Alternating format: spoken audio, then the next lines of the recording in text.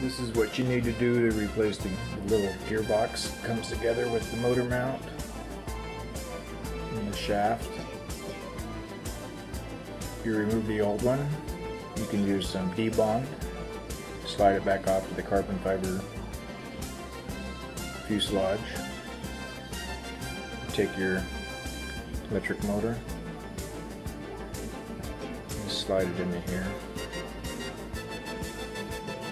Mesh the gears up.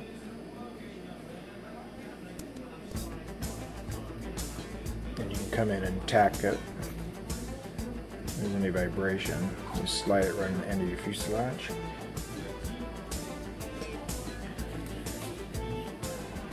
Right there.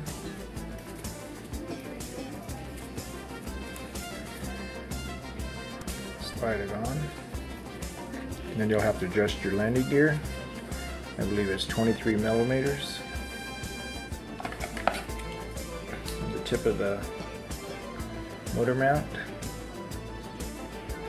to the front edge of the landing gear, 23 millimeters. And your battery, you can vary that depending on how you control this. I think it calls for 13 millimeters, but I have a little bit more than that because I like the way it handles. You'll have to, uh, after replacing the landing gear, you take your wing assembly, slide it back in the hole, tack it with the AC adhesive. And then you'll just come back in here, tack the motor, put a little adhesive just in there to bond that. A little drop right there, a little drop here where you want it. Will take and you can reinstall the prop. I've got one right over here. It just unscrews from the shaft. You just take the prop. No need to even take the prop cover off. Just wind it on. It gets tighter. And there you go. So that's how you replace the front motor. Assembly, slide the motor in. The reason why I'm replacing the front motor mount was I was replacing the broken landing gear and could not get this thing off right here. The Debond just kind of dissolved it somewhat, so I had to get a new gearbox. They're like six bucks.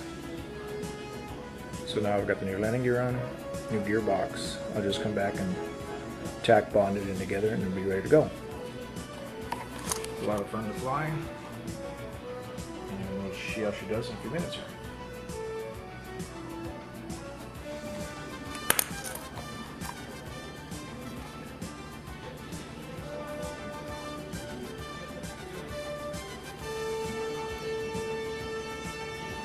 Okay, so now you need to put some CA to secure the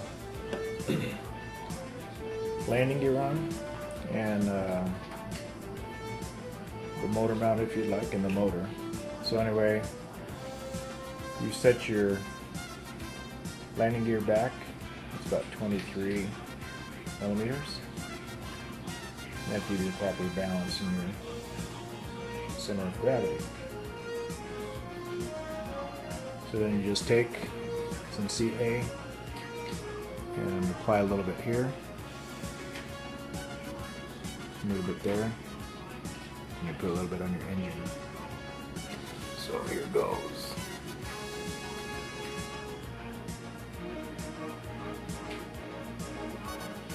That's all I want to put there because I don't want it. I'll be able to service it later. The reason why I did this is I had a broken landing gear. So replace that. And the Vapor comes with this battery here,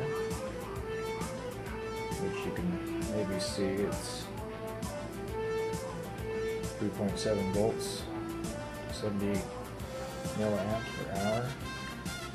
But you can get an upgraded one Same voltage, 3.7. It can go to 110 milliamps. This is the E-flite. A of guys using the helicopters. Works great on this. You get no flying time. A little bit heavier, not much. You can see the two. Nine bucks. And another cool tool for working on these is a fly fishing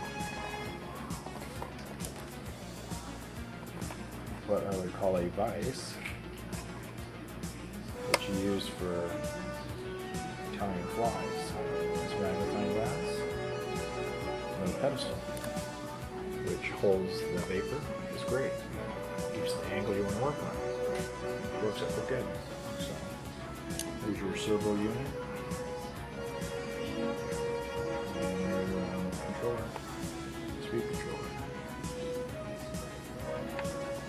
Anyway, do we do some more?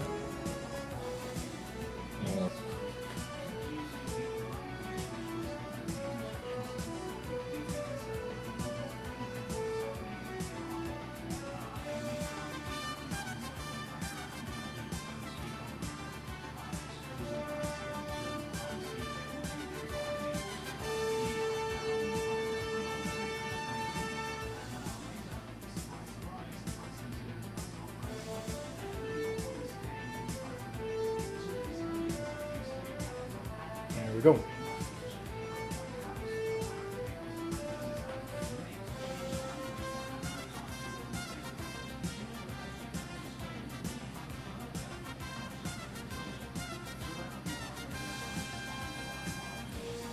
Here's the old gearbox. What it did was just kind of dissolve down here on the bottom. I was trying to remove it from the fuselage. So, got a new one, but at least I've got a spare shaft and gear.